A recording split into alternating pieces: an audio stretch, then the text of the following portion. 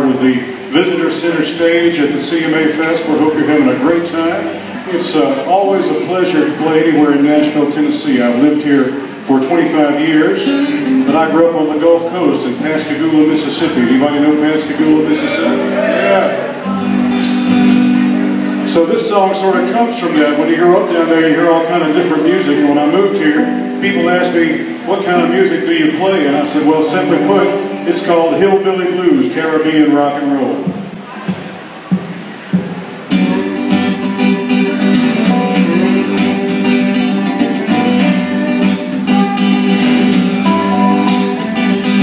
You can stretch my broken guitar strings from Pascagoula to Ocean Springs. Played all kinds of music on the Gulf of Mexico. When I played a little country, played a little rock, I played uptown and around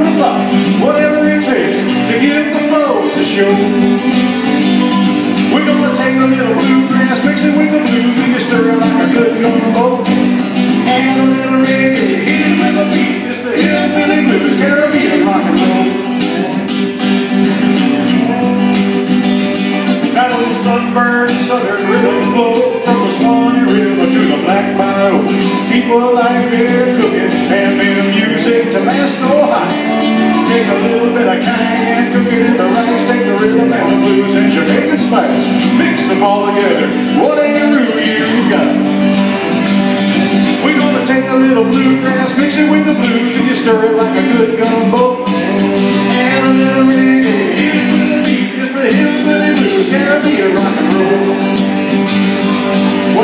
Well, I like to hear the steel drums and a mandolin grooving in the very same song. And a Cajun fiddle and a slide guitar, like a shrimp boat wheel just rock along.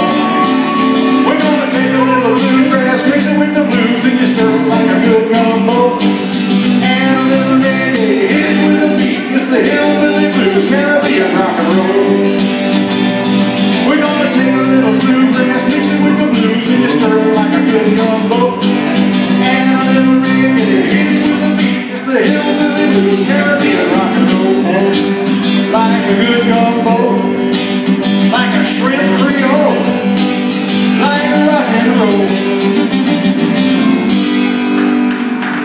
Thank y'all so much. We appreciate that.